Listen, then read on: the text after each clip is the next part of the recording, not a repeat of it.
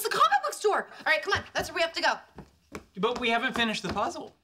But it, it doesn't matter. We know the answer. You, you think you know the answer, but it could be a trick. What if, when the puzzle's complete, there's a sign in the window that says, go to the train store?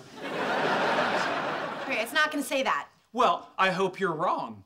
I really want to go to the train store. It's a comic book store. Let's go. Numbnuts,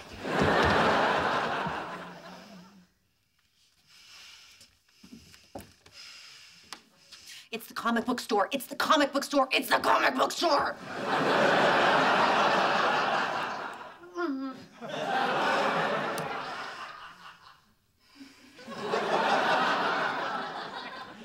It's a comic book store. Oh.